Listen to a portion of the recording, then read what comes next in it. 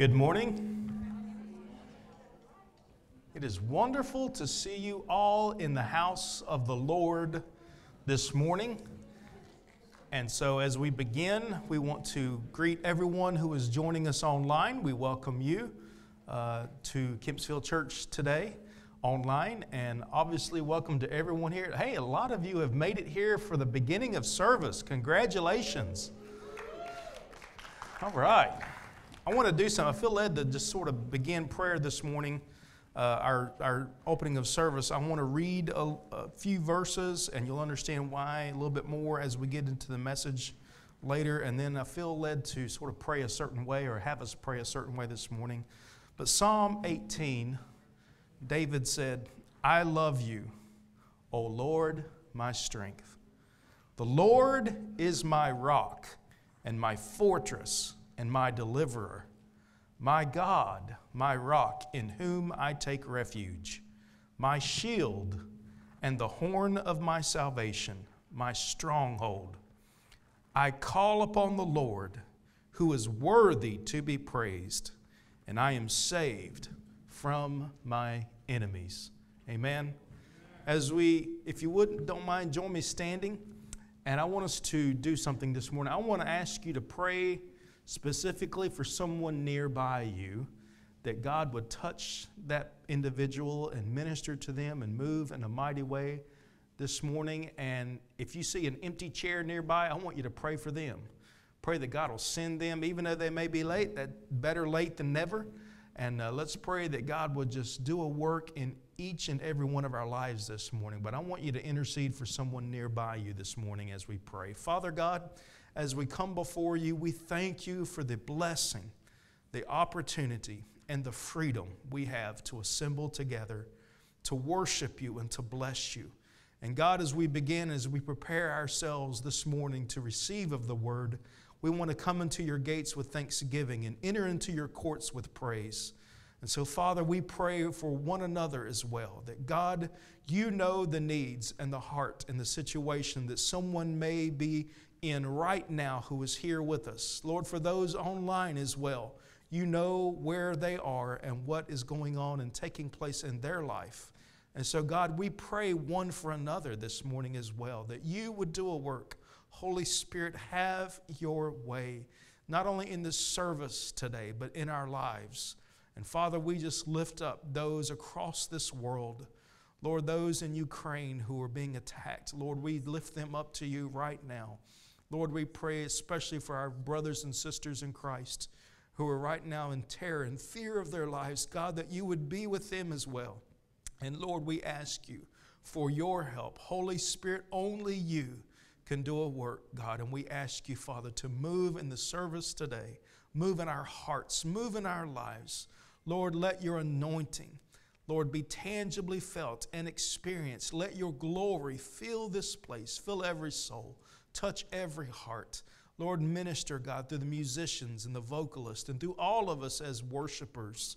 God, as sons and daughters, grafted into the vine, saved and redeemed. O Lord, our God and our rock, our deliverer, we bless you today. We pray, Holy Spirit, move in this place. In Jesus' name. And everyone said, Amen, amen and amen. Let's worship the Lord together today.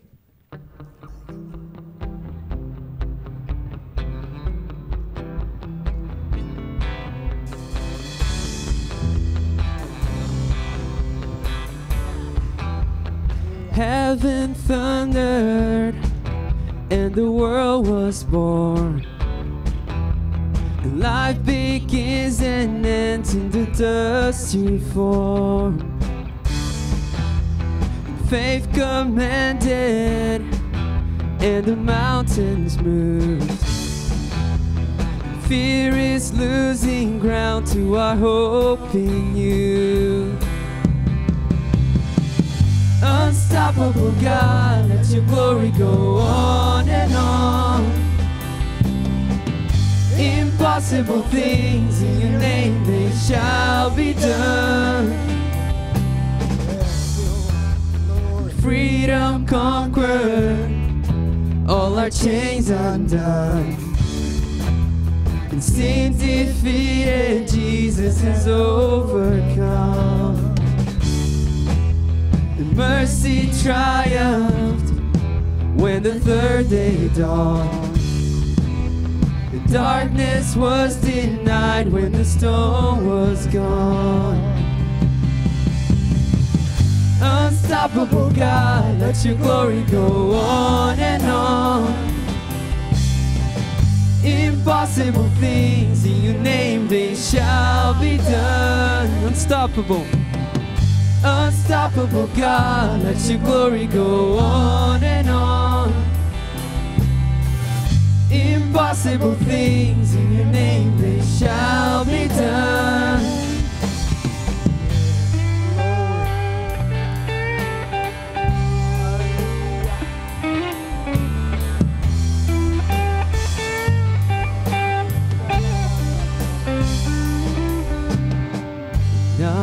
Shall be impossible.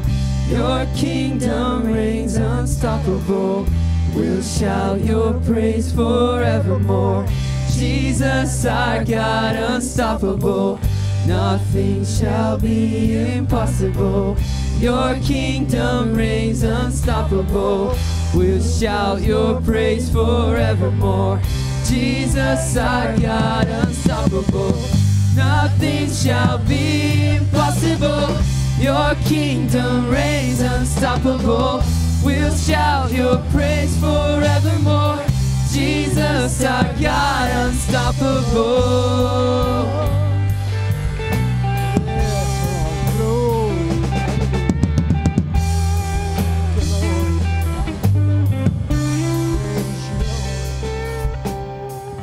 An unstoppable God, let your glory go on and on.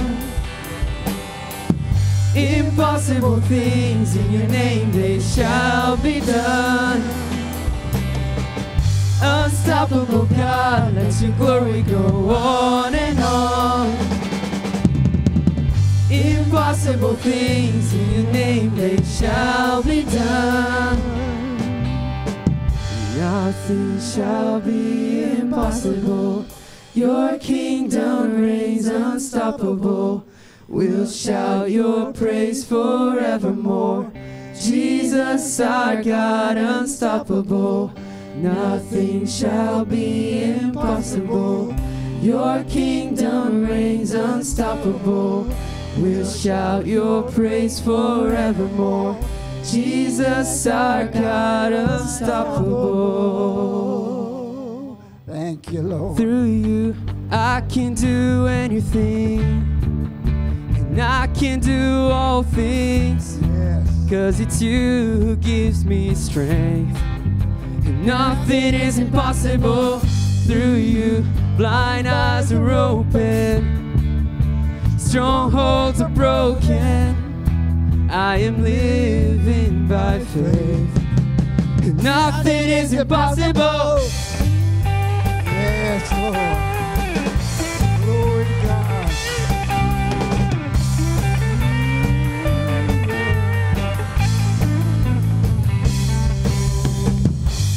Not gonna live by what I see. I'm not gonna live by what I feel. Down, I know that you're here with me. I know that you can do anything. Through you, I can do anything. I can do all things. Cause it's you who gives me strength. Nothing is impossible through you. Blind eyes are open. Strongholds are broken. I am living by faith. Nothing is impossible. Glory. Thank you, Lord. Praise you, Lord. I'm not gonna live. I'm not gonna live by what I see. not gonna live by what I feel. Deep down, I know that you're here with me. And I know that you can do anything. Through you, I can do anything. And I can do all things. Cause it's you, it's me strength. Nothing is impossible through you. Blind eyes are open. Strongholds are broken. I am living by faith. Nothing is impossible.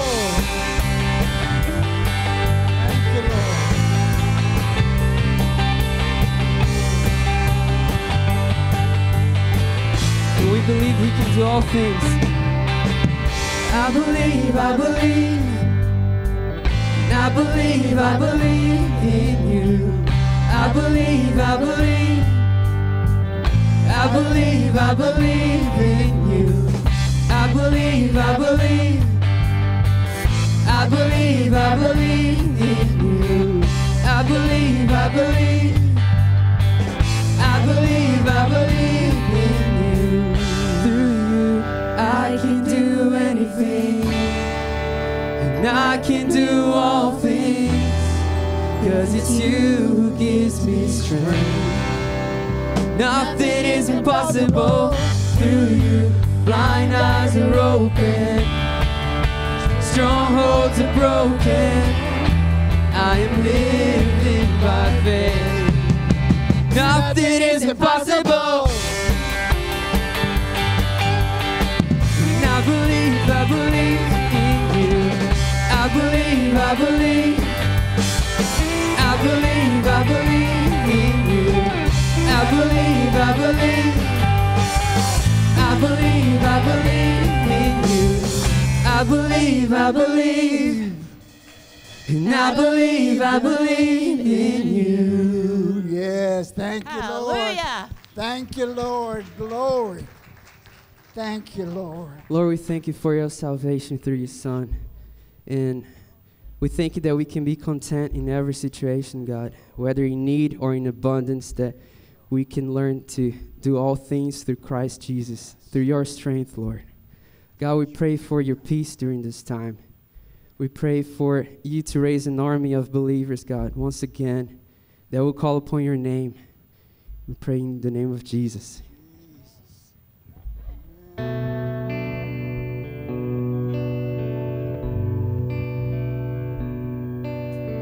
Peace. Bring it all to peace. The storm surrounding me, let it break. At your name, and still call the sea to still, the rage in me to still every way At your name. Jesus, Jesus, you make the darkness tremble. Jesus, Jesus, you silence fear. Jesus, Jesus, you make the darkness tremble. Jesus.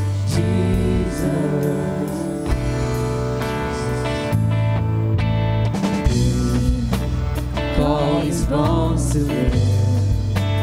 Call these lungs to sing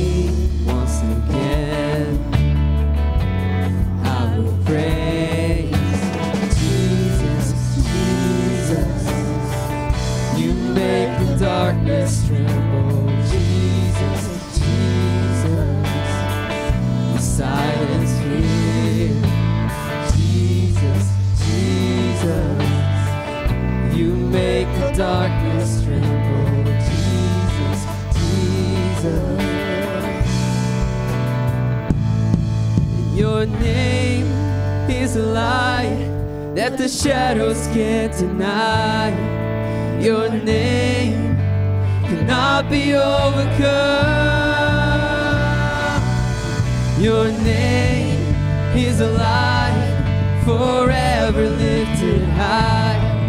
Your name cannot be overcome. Your name, your name is a light that the shadows can't deny. Your name cannot be overcome. Your name is a light forever lifted high. Your name cannot be overcome.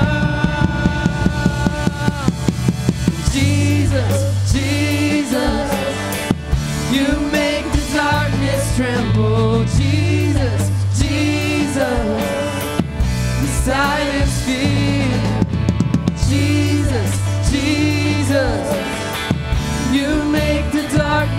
tremble. Jesus, Jesus.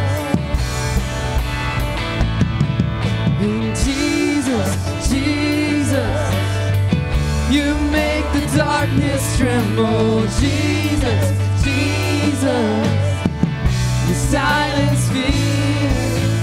Jesus, Jesus, you make the darkness tremble. Jesus.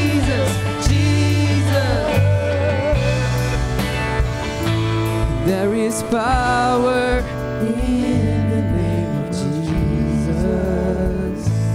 There is power in the name of Jesus.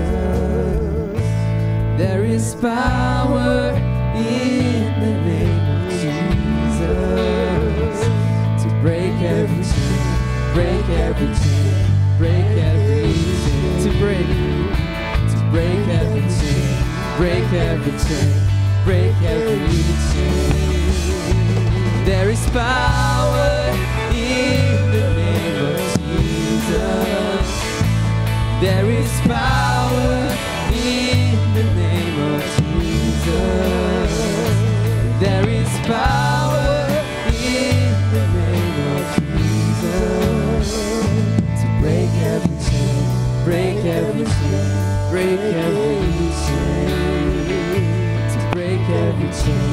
break every chain, break every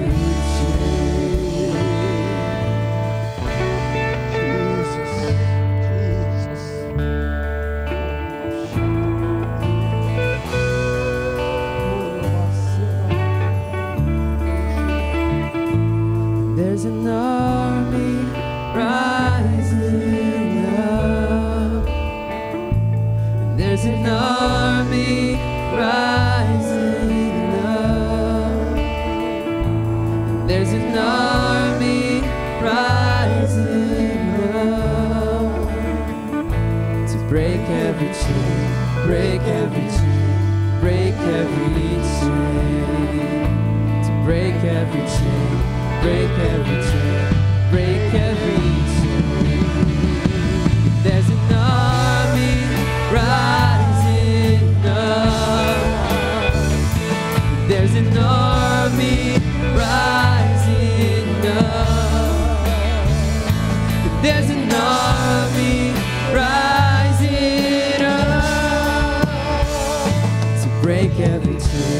break every chain, break every chain, to break every chain, break every chain, break every chain, to break, to break every chain, break every chain, break every chain. There is power in the name of Jesus.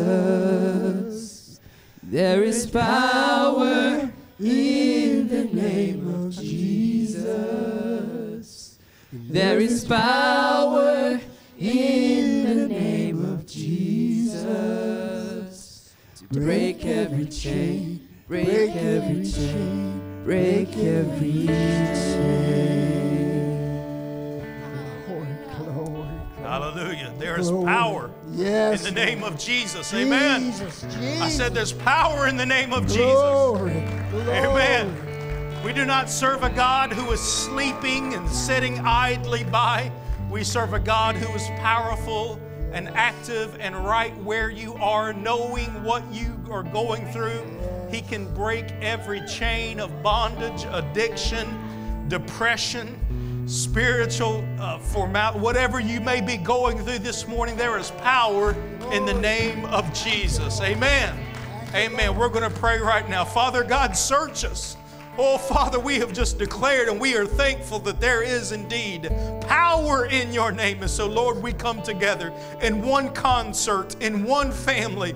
Lord, brothers and sisters from all backgrounds and all kinds of walks of life. Lord, you brought us all together and we are redeemed together through the blood of Jesus Christ. We are brothers and sisters in one accord today coming before you as your children, oh Heavenly Father. We thank you that you can break every chain, and we do know and are confident that there is power in the name of Jesus. And so, Father, knowing this truth, we come before you and we submit ourselves. Just do this with me in prayer right now. Say, God, I submit myself Oh God, we submit ourselves to you, Lord. Search us and know us, God. Lord, break every chain that is holding us back.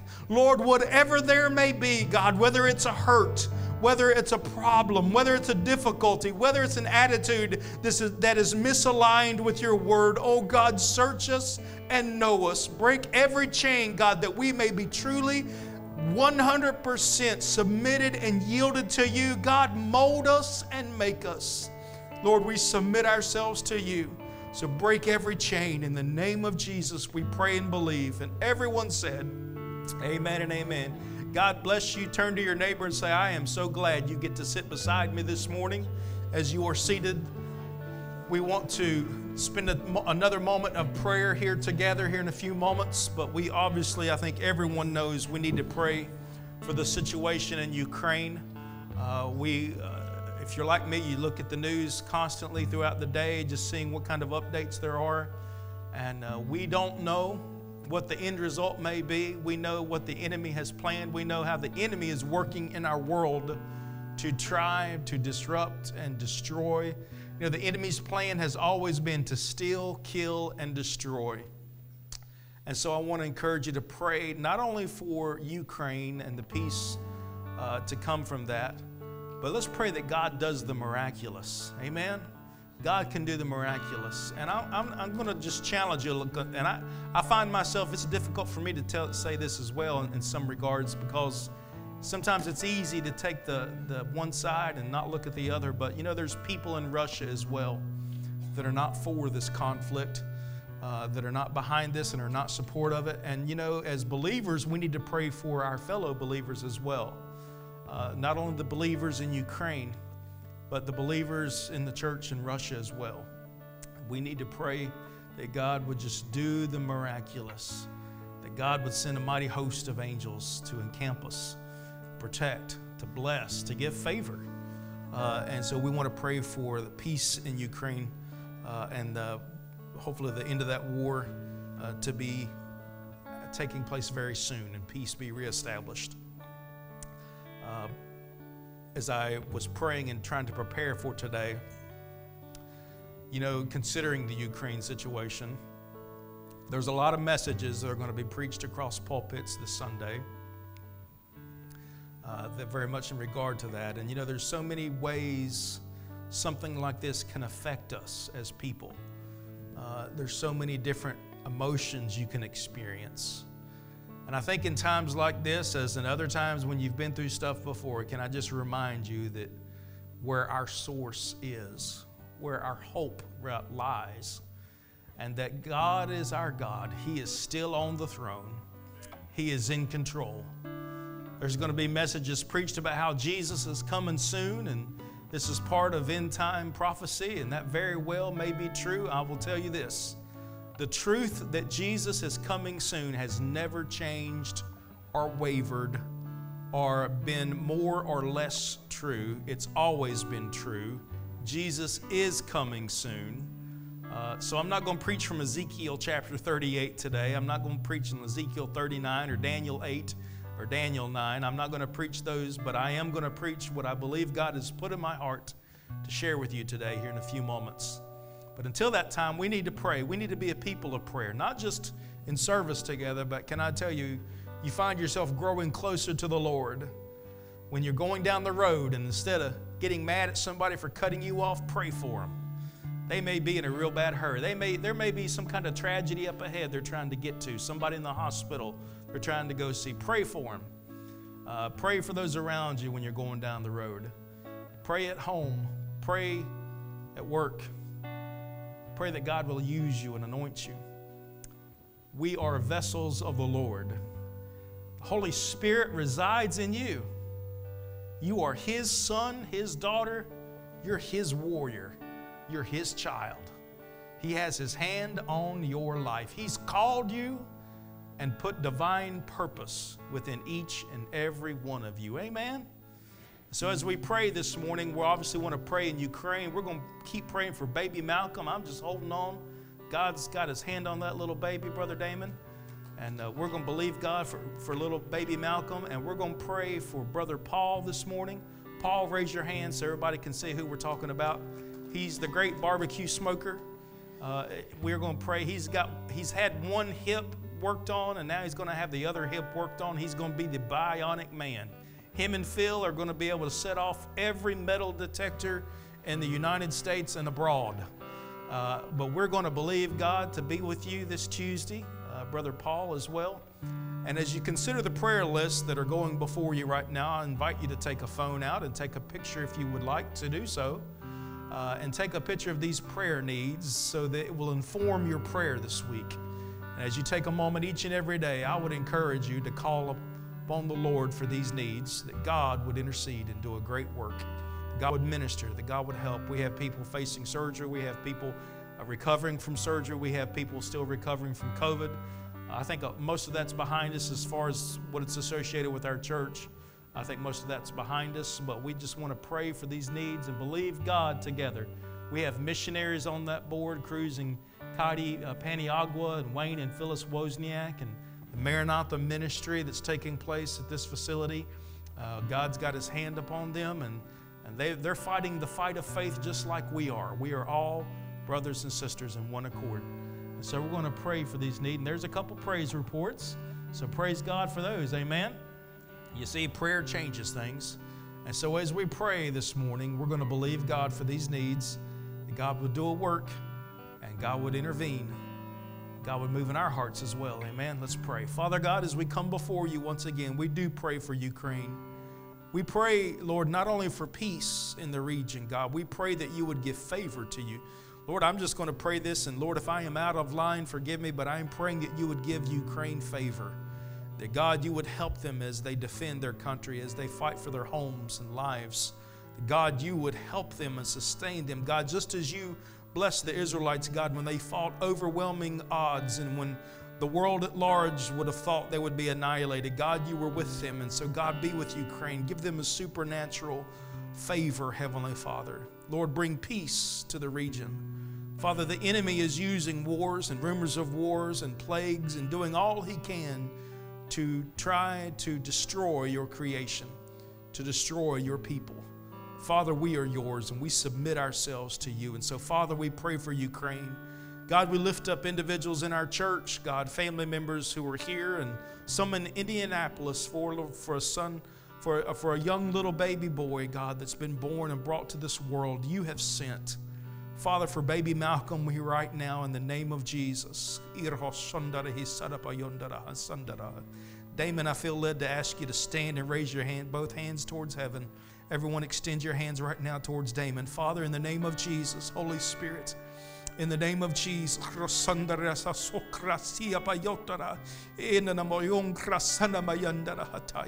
In the name of Jesus, God, touch baby Malcolm. God, bring completion, bring healing, bring full recovery, bring that little beautiful baby home. And God, bless his life. Lord, bless his steps. God, help him to grow, to know you, and to serve you, and to be a mighty vessel of God. Lord, we pray right now for baby Malcolm in the name of Jesus. God, we pray for Brother Paul, God, as he's facing surgery this week. God, you know, we know that you are with him. God, we pray that you would grant him favor. Holy Spirit, touch every aspect of the surgery. And Lord, bless his recovery. Father, help him to Uh, Lord, use this surgery to help him become more mobile and feel better and healthier and stronger than ever before. And God, we lift up each and every one of these needs represented on our prayer list. So many names, so many situations. You know them all. Lord, they are people we know, people we care about, family, friends, members, God, brothers and sisters. God, we lift them up. Lord, we ask you, Holy Spirit, to intervene God, for those joining us online as well, whatever they may be going through, whatever, whatever difficulty they may be incurring, Father, in the name of Jesus, move in their life. Father, bring us closer and more near to you than ever before. In Jesus' name. And everyone said, Amen and amen. Let me get some announcements out of the way real quick. Ladies' night, you're going to have a night out. Husbands say, Praise the Lord. See, that was a loaded that was, I just got you in trouble, some guys. Wife's gonna be nudging you. What do you mean? That's this Thursday at 6:30, ladies. This Thursday you're going to Landstown. Why not Italian? The Landstown Why Not Italian. Uh, it's going to be a great time, ladies, for you to gather together in fellowship. And then next Sunday evening, uh, the Ladies of Lee from Lee University. It's a choral uh, group uh, from Lee University. That's our my wife and I's alma mater. Uh, it's where uh, she got her master's degree. I got my bachelor's and master's there. It's a great uh, uh, university that's training people for ministry and work and all kinds of areas of study. And uh, but the Ladies of Lee is going to be at Azalea Garden next Sunday night. And so we would invite you to put that on your calendar. Make sure you go join with us. I'll be going uh, to, to be a part of that service, but you will be blessed. Uh, I remember from our experience at Lee before, Crystal, you remember that when the ladies of Lee uh, sang, I'm telling you what, they moved heaven and earth. They know how to worship the Lord. Uh, it's a tremendous anointed uh, choral uh, group from Lee University. You will be blessed, you'll be touched. Uh, so we invite you to be a part of that at Azalea Garden Church. And if anyone wants to serve as a host family that Sunday night, please let me know. Uh, as soon as possible uh, because uh, one of the things they Isaiah is trying to do is, is provide host families on that Sunday night uh, to house them. Uh, so if you're interested in doing that, please let us know. All right? Okay, or let me know after service. And then, men, we get to have a time out too. We're not having a night out, we're having a morning out. Uh, that's going to be on March the 12th at 9 a.m. So, men, mark your calendars for that as well. Before you, you should have a Connect card. And if you have that in front of you, if you have a prayer need, one of the best ways of getting that prayer need included in the slides is to fill out that Connect card. Uh, that, uh, that, that brings it through Pastor Brett, and he is so great at keeping all that organized. Sometimes, if I'm not careful, if I get a text, I may not. Uh, uh it's just really good to use that Connect card. So uh, please uh, make, yours, make that Connect card available to you in front of you. You can fill it out. If you want to just say hello, Pastor, how you doing? Uh, you can do that too, uh, but uh, we'd love to connect with you. If you are visiting Kempsville Church, especially for the first time, you can't leave unless you fill out a Connect card. It's obligatory.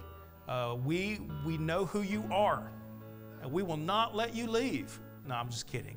Uh, please fill out a Connect card. We're not going to do that. Uh, Brother Andy's good. He's, he won't do that to you. So fill out a Connect card.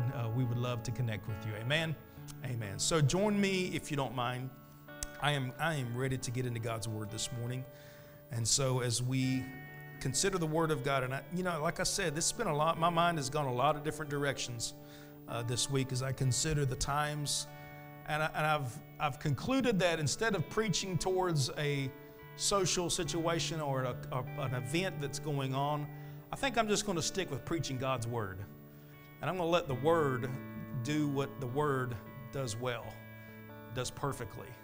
And that is not return void, but do a great work in our hearts and lives. And so I'm going to preach from Psalm 144. I'm going to ask you to join me standing. I want to read the first four verses. I thought about reading all 15 verses, but with Pam having a birthday today, and uh, I just didn't want to ask her to stand too long. Uh, so we're going to read the first four verses of Psalm 144. Uh, she's just turning 30 today. Uh, so, yeah, give her a hand clap.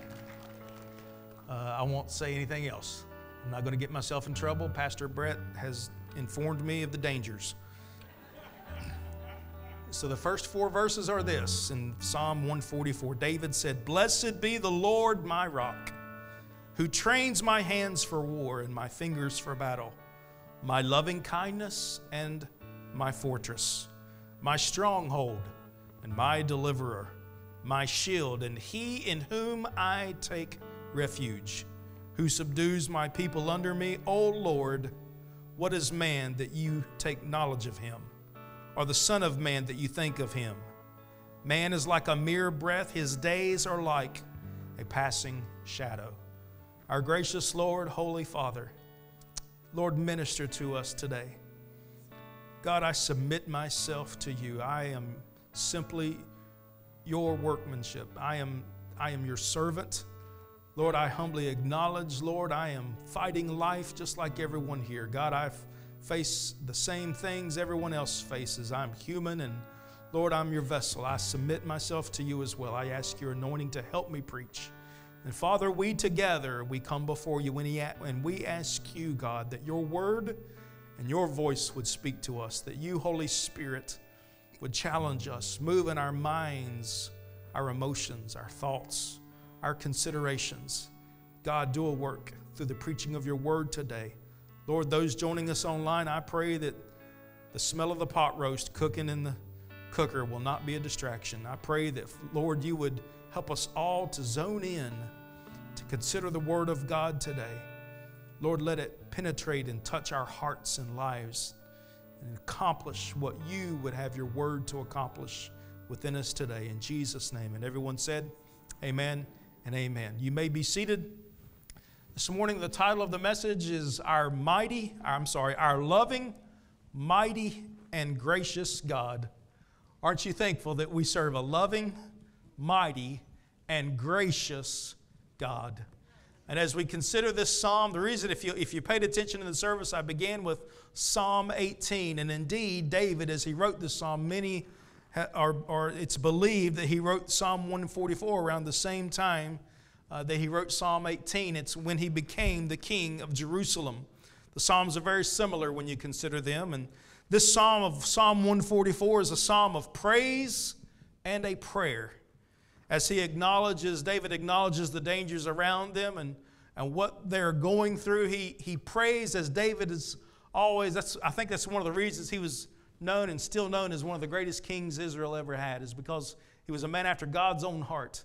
Was he perfect? No, but he knew the importance of calling upon God in prayer. Not only in times of peace, but in times of turmoil, in times of war, in times of difficulty. When you feel surrounded and you feel overwhelmed by life, David recognized the importance of prayer, church. That praying and saying we're praying for someone and we're praying for the conflict and the war in Ukraine and what's going on there. You see, there's power in prayer. You see, for as you enter into prayer, you're entering into a spiritual battle that hell is terrified over. You see, when you pray into God, you're praying to a God who is on the throne and in control and moves because people pray. Indeed, as we consider the, the promises of Scripture, we know that even God's Word promises multiple times in Scripture that He answers and hears the call of His people as they call to God in prayer. I'm reminded of another scripture that says, If my people who are called by my name will humble themselves and pray and seek my face, He will heal their land. We recognize and understand as believers the importance of prayer. And so I'm not necessarily really going to talk about prayer the entirety of this message. I do want us to just reflect and consider this psalm as we acknowledge our loving, mighty, and gracious God.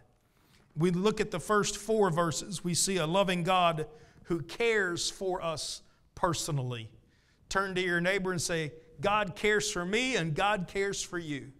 Each and every one of us, we have a loving God who cares for us personally. David knew what it was to be a fugitive. He knew what it was like to learn from the valley of experience and the strain of life. If you consider the entirety of David's life and his, his beginning, if you will, as a shepherd boy, growing up at home and learning how to shepherd his father's sheep, and the call of God upon David's life, and how he was anointed, but but he was anointed to be king, but yet never still was yet to experience that reality yet. Still had to go through some things. We remember how David, how God used David in a mighty way to face Goliath. We remember then how Saul uh, recognized the strength of David, then terrified of the strength of David, and this going back and forth that David experienced, and then the, the times that he hid in the cave. All of these experiences and realities informed him as a king. And yet we find him recognizing in these first four verses that we serve a God who loves us and cares for us personally. Consider again the words of Psalm verse 1. He said, Blessed be the Lord, my rock. Not your just your rock or someone else's rock. Notice David is saying, He's my rock. What is a rock? A rock is something that is firm, that is strong. A rock is something that is not easily pliable at all, in fact. It's not easily broken. A rock is strong. And so, as we consider rock, even indeed when you build a house, before you even pour the foundation, you put what under a foundation? Any construction people here? You know what I'm talking about? What do you put in the foundation before you pour that foundation of concrete? Rock. Everybody's being real quiet. You can talk back. We are Pentecostal. In fact, if you don't talk back, I'm going to preach longer. We need rock, a bedrock. And David said, Blessed be the Lord, my rock, who trains my hands for war, my and my fingers for battle, my loving kindness and my fortress. Look at these words that David, as he gives praise unto God and acknowledges a loving God who cares for us personally. He's reflecting on the times he's, he's known, he's lived the reality of what it is to, to have a fortress you can go to, to have a place of safety that you can find protection and covering. And he says, He's my loving kindness, my fortress, my stronghold. But not only is He our stronghold and our protector, but He is our deliverer. Someone may be here today and you've wondered, how long am I going to be suffering? How long am I going to go through this difficulty? He is God, our deliverer. He may not deliver you right now, He may not deliver you tomorrow, but rest assured, if you continue to call upon the Lord and continue to seek His face, He will show Himself and reveal Himself in your life as deliverer. In fact, you ought to just start praising him now for the delivery that's coming. And so David knew what it was like. Look, he didn't get delivered from the cave in one day, it took him a while. He was hiding in the cave for a long time, but oh, rest assured, God knew where he was in the midst of the cave. God knew where he was when he was facing Goliath. God knew where he was when he was out in the fields watching his father's sheep and abiding by those sheep. I'm getting ready to start quoting Luke if I'm not careful about the sheep or shepherds out abiding their fields at night and the angel of the Lord. Anyway, David knew what this was, and so he said, My shield and he in whom I take refuge. And so this great king recognized where his safety was, where his provision was, he recognized, I serve a God who cares for me. And we have a God who cares for us. Indeed, if I was preaching to the believers in the church in Ukraine, I would say, rest assured, with all that is going on and all the attacks, we still have a God who knows where you are, and He is your shield, He is your protector, He is your deliverer. And when it seems like the enemy is surrounding you and overwhelming you, church, when you go to work and it seems like nobody loves God, nobody's serving God, it feels like you're in the middle of, of Sheol, if you will, if you don't mind me saying.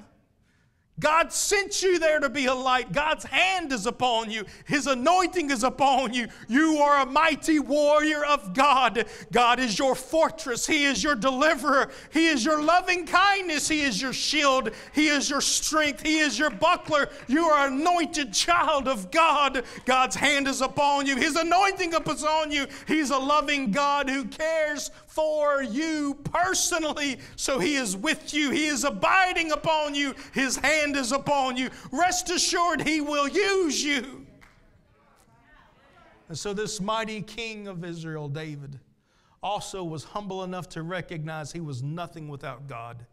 He says, O Lord, what is man that you take knowledge of him, or the Son of Man that you think of him?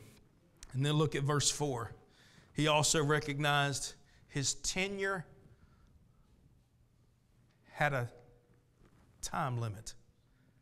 His life had a time limit. Indeed, all of our lives, we have a limit. We have a strategic amount of time to do what God has called us to do. One day, I've told my kids before, one day I'm going to be dead and you're going to wish you talked to me more. One day we all will be dead. Unless Jesus comes before we die, we will die one day. Say, Pastor, that's not very nice to say. It's the truth. But when we die, oh, there's a glorious eternity that awaits. And I would much rather spend my eternity in the presence of God than even the nicest room in hell. There ain't no nice rooms down there. I want to be with the Lord. I'm so thankful for God's salvation, His grace, His mercy, and His forgiveness.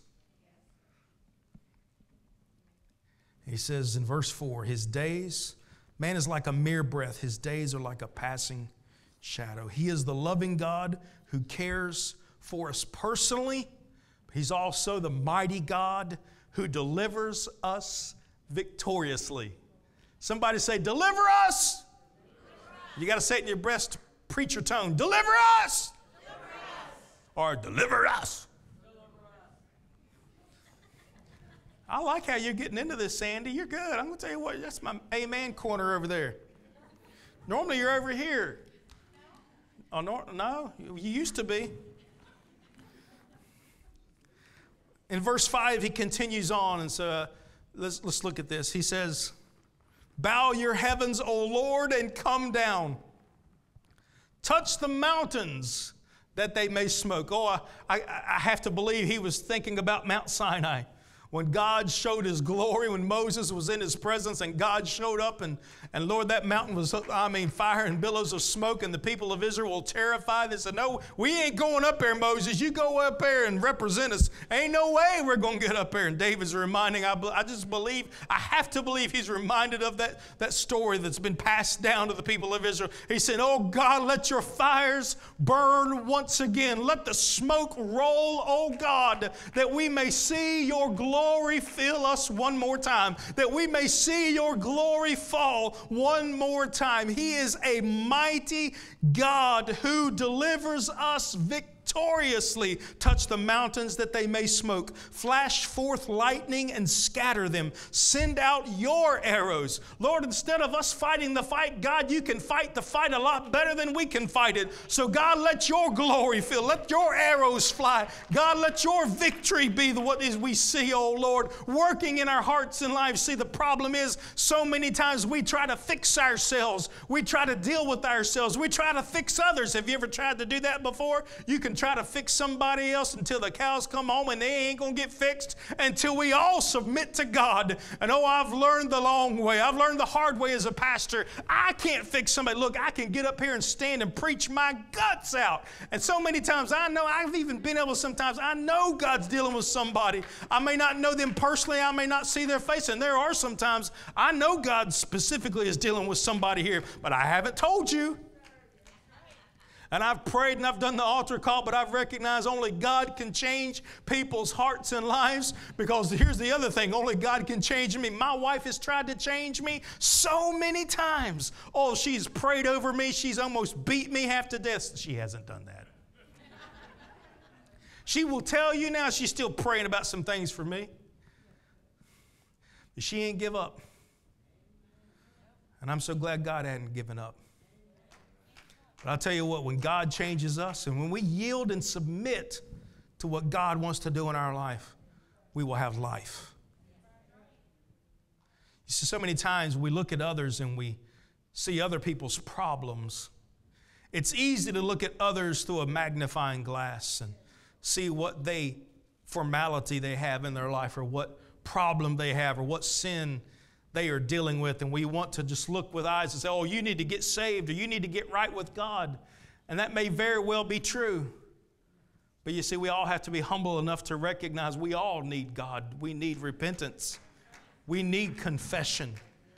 We need to confess to one another our faults. Amen?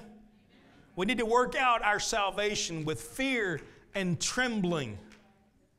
So, David, as he prayed to a mighty God who delivers victoriously, he continues on in verse 7 Stretch forth your hand from on high, rescue me, he says, and deliver me out of great waters.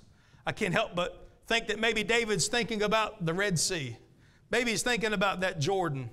Just as God was with Moses and delivered the people of Israel through the Red Sea as they were being encompassed and, and, and surrounded and, and rushed after by the Egyptian army, Pharaoh and his army who was trying to overrun the Israelites, how God moved the great waters to deliver the people of Israel.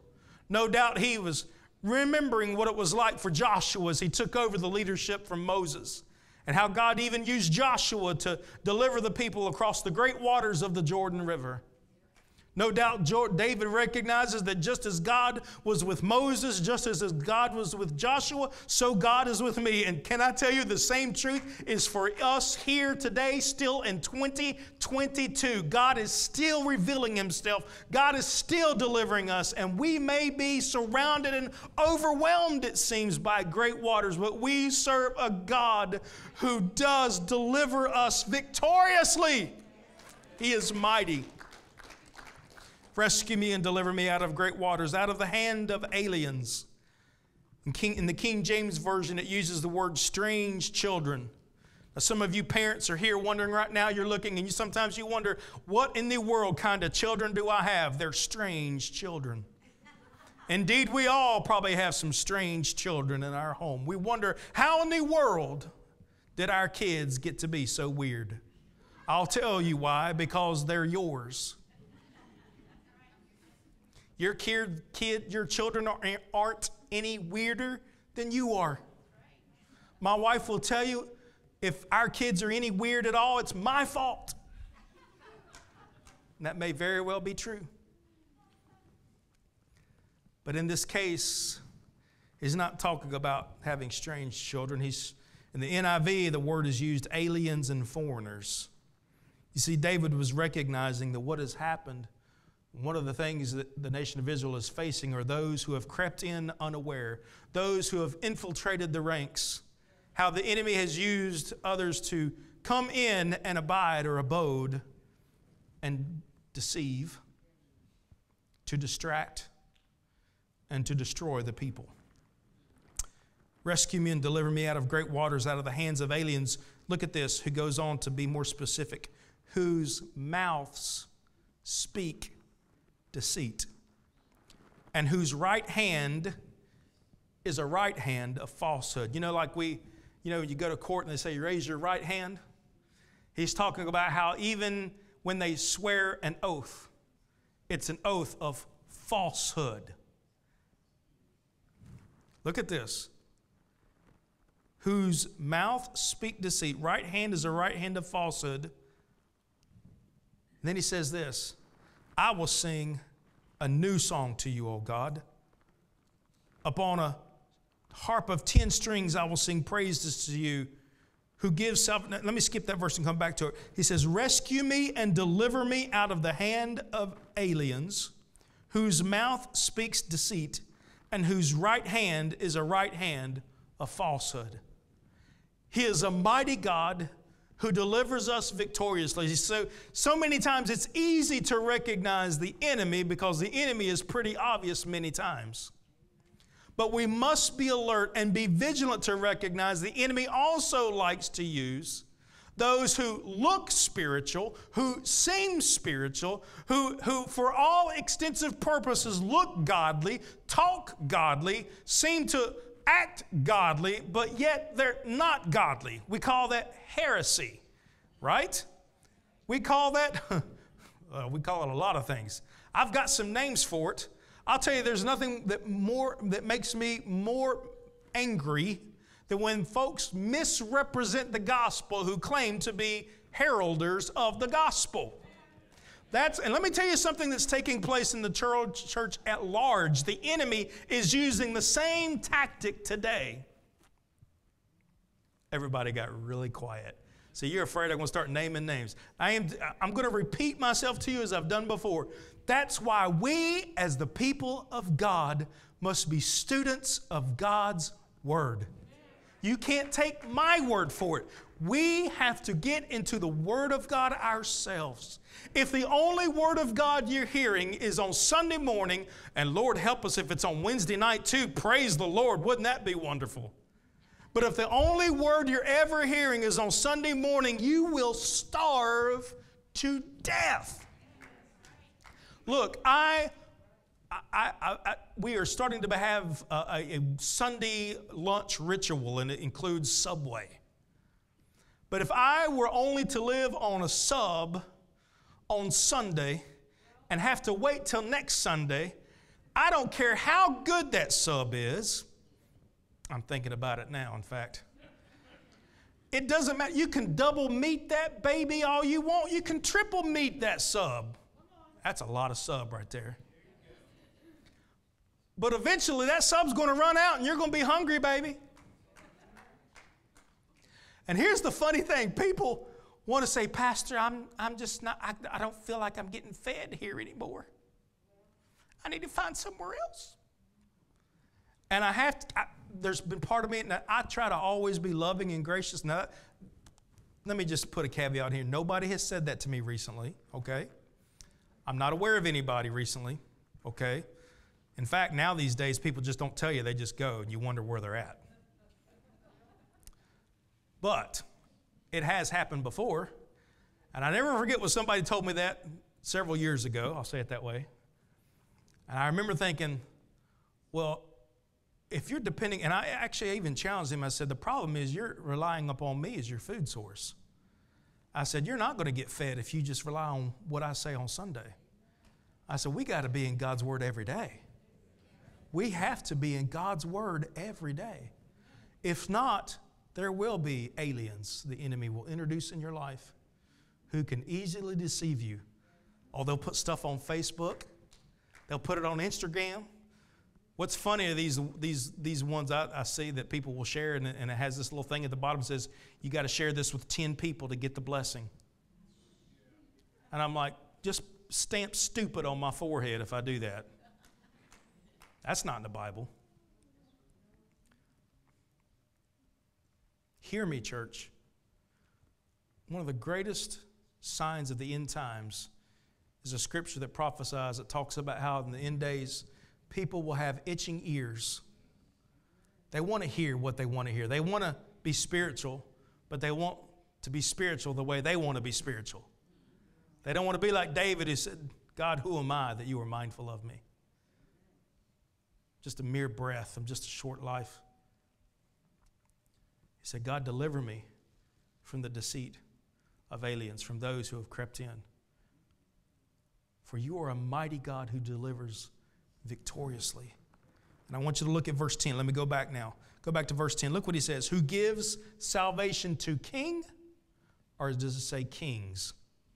Kings. He's recognizing that God, I'm not the only king here.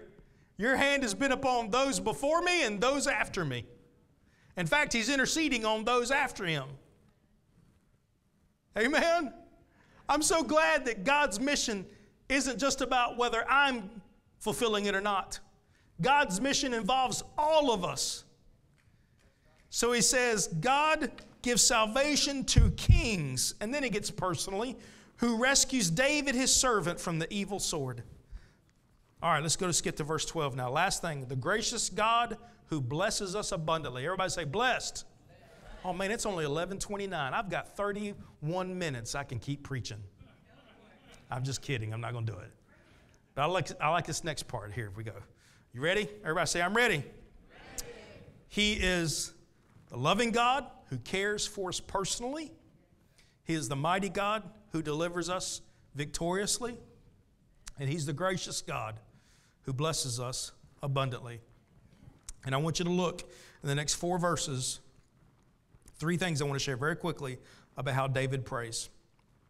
He says, Let our sons in their youth be as grown up plants, and our daughters as corners, pillars, as corner pillars fashioned as for a palace. Now, ladies, that, that's just perfect, right? Come on.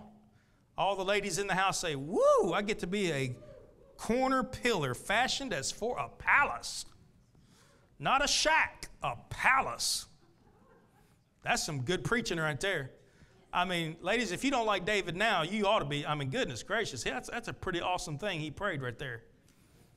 Don't worry, guys, I'm not going to leave you out. He, fat, he prayed for you to be grown up plants. we'll get, we're going to get there. David was praying for the youth, for the children, for the future. It's been said that as so goes the home, so goes the nation. Can I tell you, last night I was part of a, I got invited to be part of a prayer thing over the state of Virginia, and one of the things I shared with that group of people praying all across this nation was the importance and how the enemy is attacking not only our youth in Virginia, but really attacking the youth all over the world and children. Make no mistake, there's no accident how uh, certain, hmm, how do I say this, certain, certain mindsets, certain groups of certain persuasions are doing their best to infiltrate public schools. In fact, they have done so. And they're doing and using every device they can to inform and form and reform children and youth of tomorrow because they know that if they can affect the youth, affect the children, then tomorrow or the nation in a few years from now can dramatically be affected. In fact, the nation we have now is a result of that accomplishment. I'm not going to spend a lot of time here. I'm going to try not to. David recognized that we serve a gracious God who, who does bless us abundantly, but we need to recognize that that abundant blessing has to begin with our youth. Make no mistake about it. In fact, as I consider this point, make no mistake, it's encouraging to me because what did we observe today in the service? If you'll notice on the praise team, we had several of our teenagers involved. We had a young man playing the drums, beating those drums with all of his heart, playing those drums as he has so many Sundays before, passionately and with zeal. Nobody wants a pansy drummer. Nobody wants a drummer who just, I'll play my drum for you, you know. We want a drummer with zeal and passion. We encourage the breaking of sticks. We have a budget, we can buy more sticks. Amen? That's for you. He was so proud. A couple weeks ago, he came and said, Pastor, I broke a stick. And he showed it to him. You know, I should have went and bought you some sticks then, man. I owe you some sticks, all right?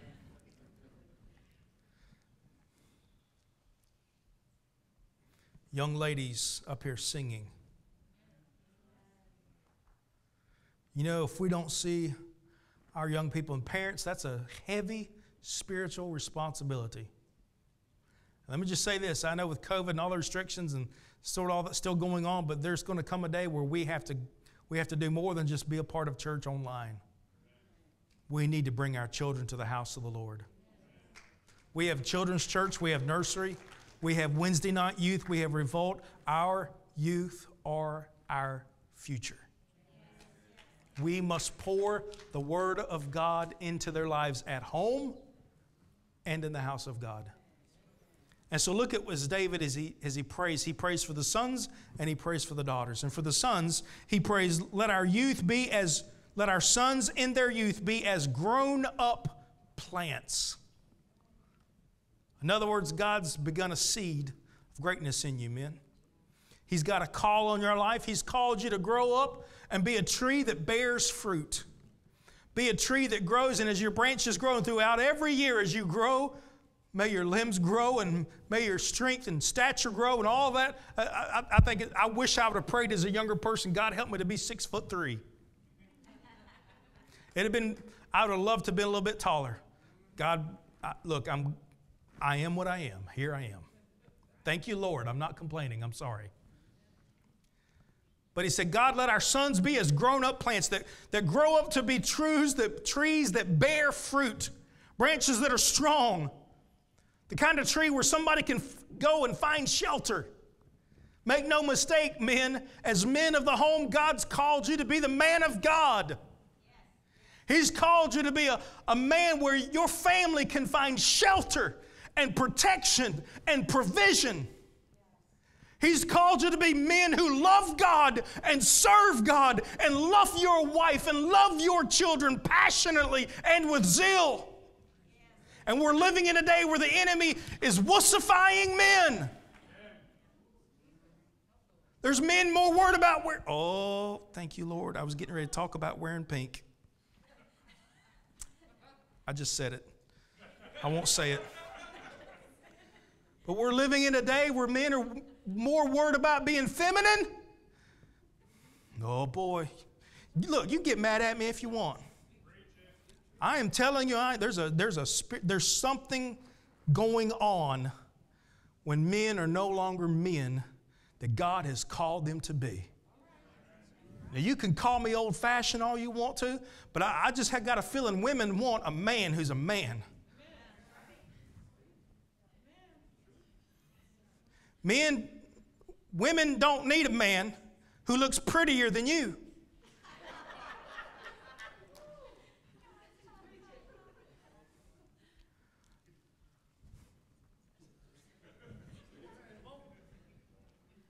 Now, right now, somebody's probably already turned me off on Facebook. For all I know, they're reporting me. Go ahead, report me all you want. But our world needs men to grow up and be fruitful, fruit bearing, God fearing trees, deeply rooted in the Word of God, growing for the glory of God, a shelter for your family to find protection and safety. And I'll tell you what, ladies, look, look what he prayed for our daughters. He said, And our daughters as corner pillars fashioned as for a palace. Thank God he said palace and not a barn. You know why? Because women, you're, I got to be careful. My wife, if I get out of order, you come up here and smack me. But women, God made you beautiful for a reason. No doubt about it, every strong man here had a wonderful, awesome mama.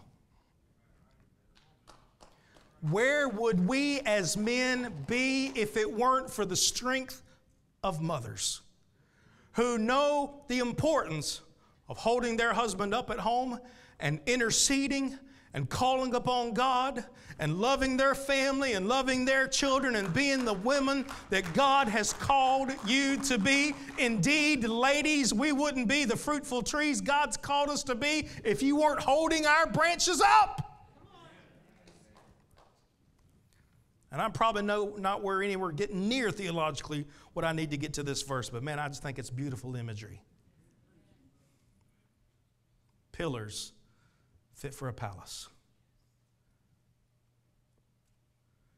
So make no mistake, uh, as you consider just the balance of church, and if you consider the activity of ministry and who runs ministry and who does ministry and who volunteers the most, women are fitting that narrative. You realize that? In fact, I don't know how churches would make it if it weren't for women in ministry. My wife clapped really loud there. I just want to point that out. I think she really likes that point. It's a good point. Amen? It's a great point. Man, I feel good about that one. Yeah. And then he says in verse 13, you see, he recognized the importance of the people, not only for their children, but the necessities of life.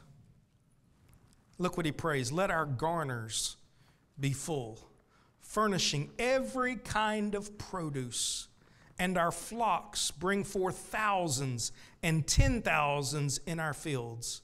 Let our cattle bear without mishap and without loss, and let there be no outcry in our streets. every aspect of life, David, as he's praying not only for the children and the youth of tomorrow, the future of the nation, but also every need. God, every provision. God, you are our source. You are the gracious God who blesses abundantly. Oh, I, I, I grew up on a farm. I didn't grow up on a farm. I grew up with a, far, a granddad who was a farmer. And so I was so blessed to be working on the farm many times in the summer or in the fall. I learned so much about life and so much about God, really, now in hindsight, working on that farm and the value and, and the dependence of a farmer, even on the rain. The, the farmer's dependence on rain and even the seasons and being able to judge the seasons and knowing when to sow and knowing when to reap, knowing when to plant, knowing when to bring in the harvest. All of these things are so important and vital for the life of a farmer. Understanding and being able to watch your herds, your cattle, your sheep, even your chickens. Chick fil A, watch out for Chick fil A. So David prayed over the necessities of the people as well. And God cares. He graciously wants to bless you abundantly. He does bless us abundantly. Notice there's nothing in this prayer that says, God, make us rich. God, make us better than anybody else. He's saying, God, be our provider, be our sustainer. God, with the cattle you've given us, bless our cattle. Let them bear and give us more cattle. God, watch over our fields, bless our fields.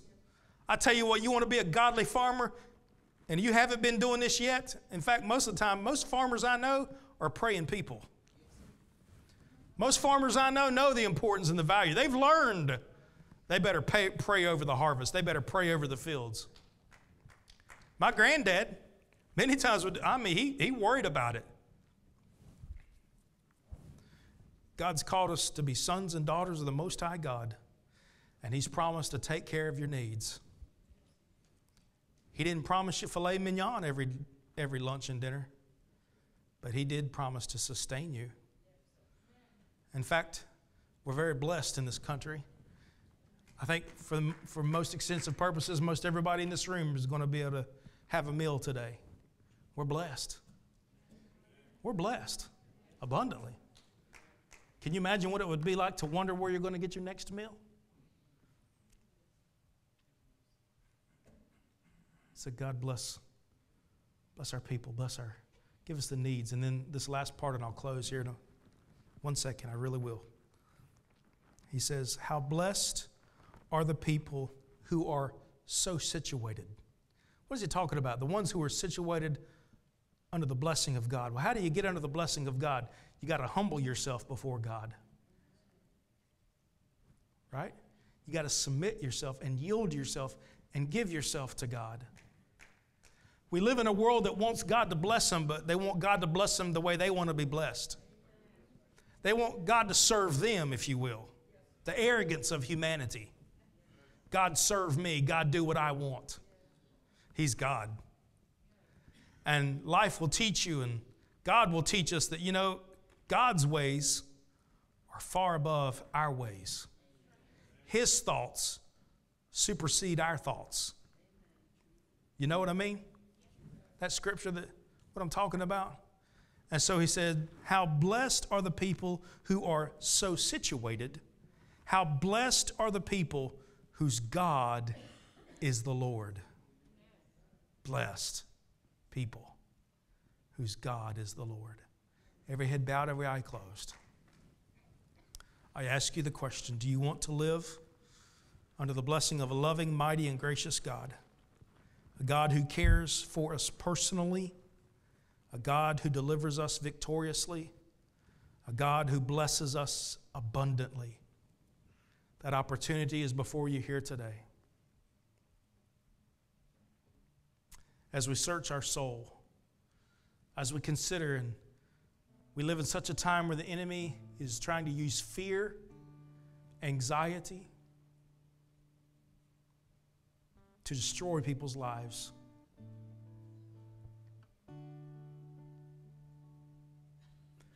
I didn't come today to try to use worldly events to try to scare you or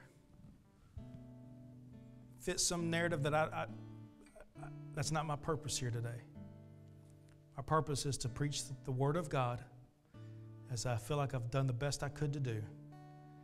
And for us to take a moment before we leave, before you turn, turn the service off online right now, take a moment, bow our heads, say, God, search me. As David prayed, God, search me and know me. Lord, if there's any falsehood in our life, if there's any manner in which we have misrepresented or been a bad representation of God, maybe we maybe you posted something this week on Facebook you shouldn't have posted. Maybe you said something around somebody you shouldn't have said. Maybe you did something you shouldn't have done. And you know that's the case right now. I'm not asking you to raise your hand to admit that. I'm not asking you to repost on Facebook because of that. I'm asking you right now before God, just you and the Lord right now, you and the Holy Spirit, say, God, search me and know me. If there's anything in my heart, anything in my life that's affecting me, that's filtering my life, search me and know me, oh God. Forgive me. We're going to pray. So as we pray and as I lead in this prayer, you've got to make it your prayer. And I want to encourage you to pray along with me. If you want to come to the altar, you can find a place at the altar. If you want to turn around and kneel at your chair right now, you can do that as well. If you want to find a wall to go lean up against and pray, you can do that as well. But let's respond. Father, as I pray, as I bow my head and close my eyes, I join with my brothers and sisters in Christ. God, I acknowledge, Lord, I have not been picture perfect all the time. None of us have. So, God, as we consider your word today, as we come before you in this moment, this time, this opportunity, Lord, to search our souls, God, search us right now. Holy Spirit, convict where there needs to be conviction that brings us back into right fellowship with you. Lord, help us, Lord, if there's anything in our life that we need to confess right now in this prayer, all across this room, those joining us on Facebook or YouTube, our social media platforms, Father, right now search us. And as we as we recognize those things in our heart and spirit right now that we need to confess before you, do so right now. In Jesus' name, hear, yes, Lord hear every right now, every confession, every individual, everything, every every word, every action, every thought. We submit it to you right now. Search us and know us. Lord, thank you that you are gracious. Thank you that you do love us personally. You do deliver us victoriously. You do bless us abundantly. Father, help us, Lord, to indeed walk in that personal relationship with you. Help us, Father, to remember we're saved and redeemed by the blood of the Lamb. We're made righteous not of our works, we're made righteous by the blood of Jesus Christ. So as we confess every sin, as we confess every fault, as we confess every mistake this week that we've either said, action taken, or thought considered, Lord, we put it before you right now. Wash and cleanse in the name of Jesus Christ. And God, in the world that we live and find ourselves in, such, such turmoil, such unknowing, such fear, and such anxiety, Lord, help us to stay close to the foot of the cross. Lord, help us to remember that, Lord, you are coming soon. That, Lord, we are to be about the Father's business. Your word tells us to look up to hope for our redemption is drawing nigh, it's drawing near, it's close.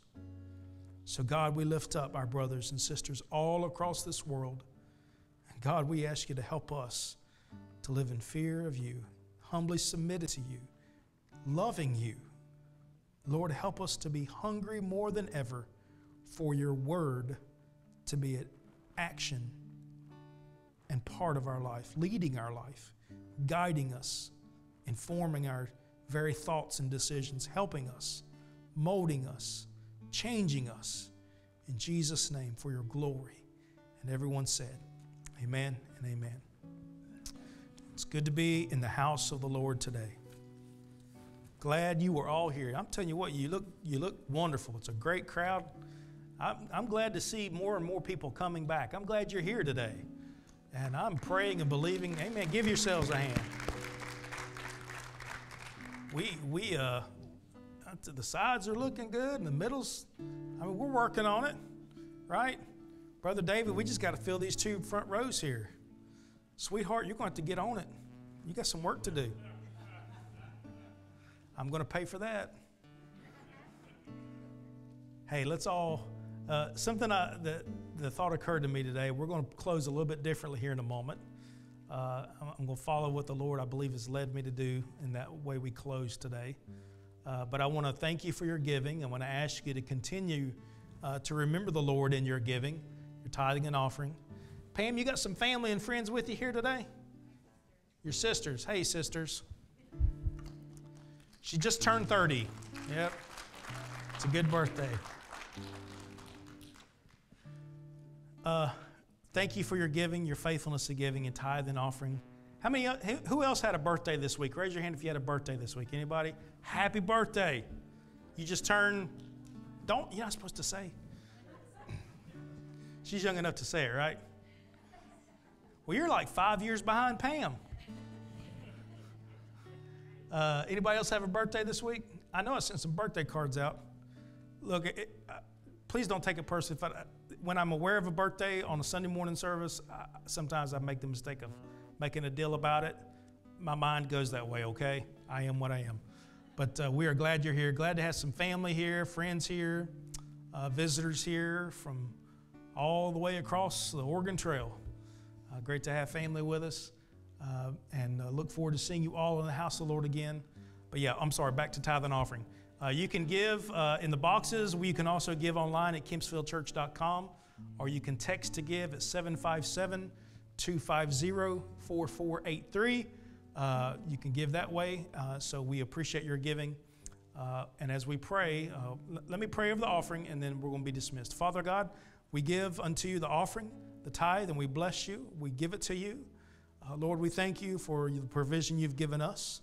Lord, we pray your anointing upon the offering today, that you would use it for the upbuilding of your kingdom.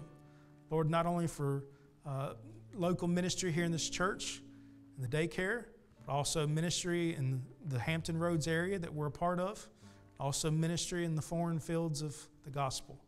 Lord, we pray your blessing and your favor. You would use it for your glory and for your honor. In Jesus' name. And everyone said, Amen and amen. All right, I'm going to, there's no script for this, but I'm going to follow what I feel like the Lord's led me to do. I'm going to ask everyone to join me standing. And um, I'm weird enough, so I invite you. Sometimes you just got to be a little weird. I want everyone this is not weird, but this is very spiritual, actually, if you think about this. I want you to take your hand and I want you to anoint your own forehead, and then I want you to repeat this prayer if you feel, if you so feel. Say, Father, say, Heavenly Father, I anoint myself. I ask you to use me this week. Fill me with your spirit. Use me for your glory. Anoint every step I take. Let the words of my mouth and the meditation of my heart be acceptable in your sight. Use me as a light and a witness for your glory. In Jesus' name, amen and amen. God bless you. May the Lord be with you. Go in peace and glory. Shine brightly for Jesus this week. We love you all. Thank you for being here. And thank you, everyone online. Good to see you here today. God bless you.